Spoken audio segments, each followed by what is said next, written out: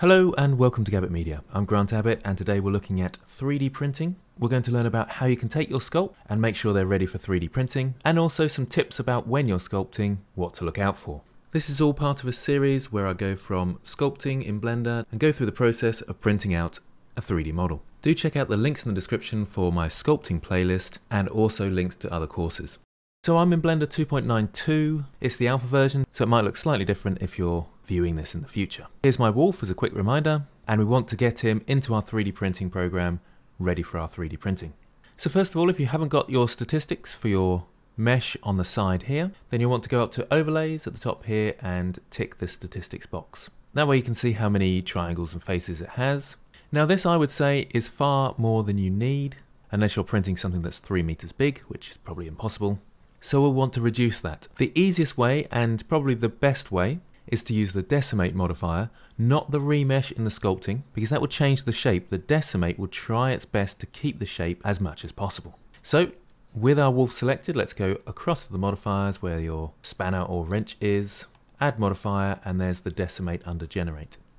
Now the ratio here will tell you what percentage of faces or triangles or whatever it will be reduced to. And I've got two and a half million triangles, so I think we can easily reduce that to 200,000 by coming in here and pressing 0.1. Now it will take a moment, my computer's reasonably powerful and it still takes some time. I'll speed this bit up. Okay, so that's done and it's decimated my object. I can't tell any visible difference and you can zoom in you can kind of see that the shape is all triangulated.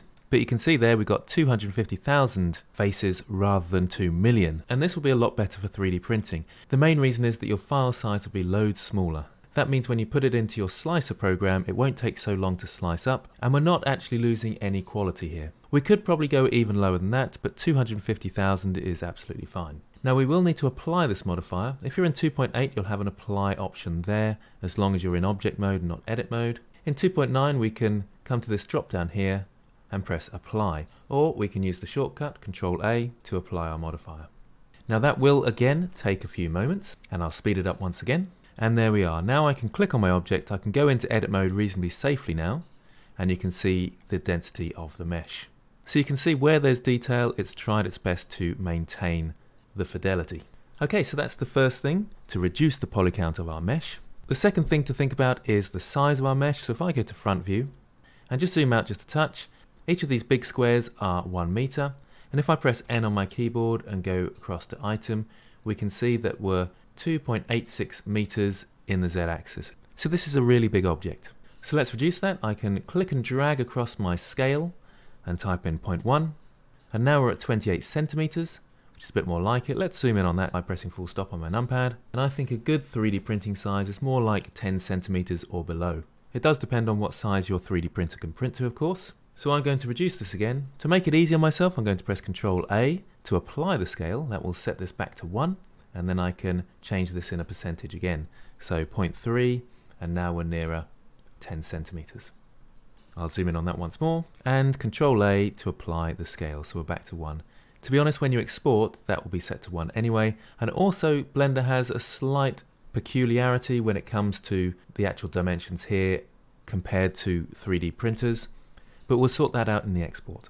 The next thing to be aware of is the angle. So if I come to side view now, anything within a 45 degree angle will need supports. So what I mean by that is, let's say this item just here, if I draw a line across there and up there, this area here if that's 45 degrees or less, we're going to have problems and need supports. So areas around here, possibly in there, the ears, and just under the tail here.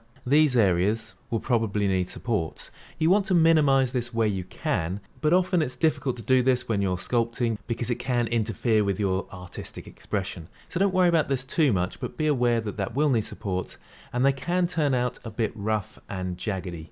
You will need to tidy those up by kind of tearing them off your 3D print and maybe rubbing them down with a file or sandpaper. Lastly, your mesh will need to be manifold. That means it doesn't have any holes in, so if I go into edit mode again and zoom in, and let's say go to face mode, select a face and press delete, this mesh is now non-manifold. I'll undo that.